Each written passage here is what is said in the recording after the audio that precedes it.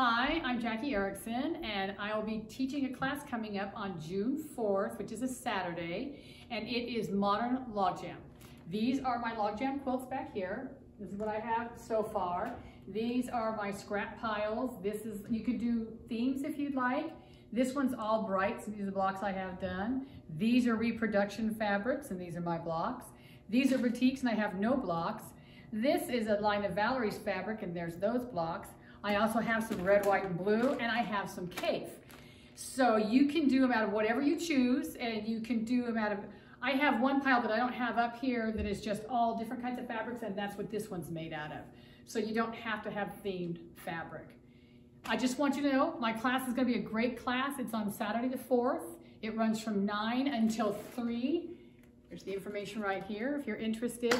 I'd love to have you in my class, so join up and we'll have a good time, a really good time, I guarantee it. So come to class prepared with your fabrics. I will have some fabric there that you can take home with you, but you don't get any of these, sorry about that. But I will give you a pattern, a free pattern that I wrote, and it's the modern, there's both versions. The modern one's on the back, and then this one right here is on the front. So you'll have the directions for both of those. It's gonna be a fun class. Come, have a good time. Bring your friends. It's a great one where you don't actually have to think about it.